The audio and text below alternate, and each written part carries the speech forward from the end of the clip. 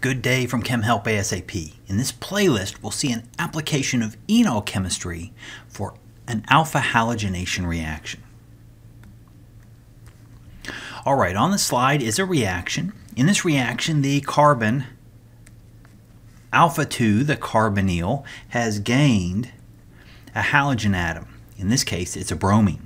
And this is an alpha bromination. When you see groups added to the alpha carbon of a carbonyl, you might think of using enolates. That's a great idea, but actually this reaction works best with enols.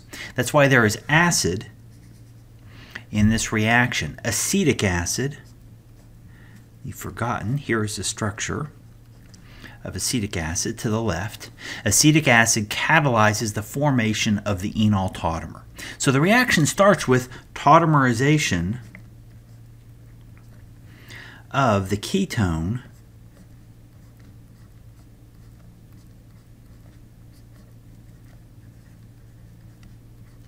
to its enol form. The tautomerization is facilitated by having acid in the reaction. The enol is an alkene with an electron donating group, an alcohol. This alkene is very nucleophilic for a neutral alkene. It readily attacks a halogenating reagent like NBS, which stands for N-bromosuccinimide. We've seen it in other videos.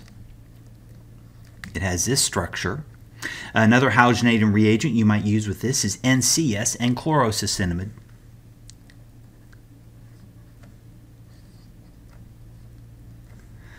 So that puts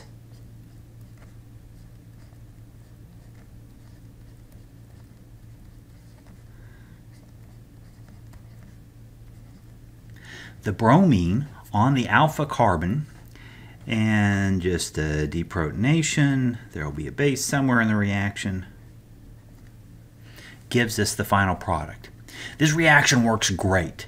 Now you might wonder why you don't get multiple halogens on the alpha carbon. The brominated product should be able to form an enol again. In fact, it does.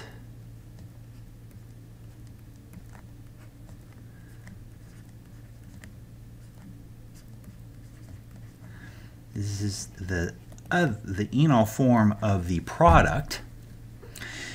So why doesn't this enol react again? Well, this enol is not as nucleophilic as our original enol in the bottom left. The halogen, the bromine in our product, the enol in the far right, is electronegative.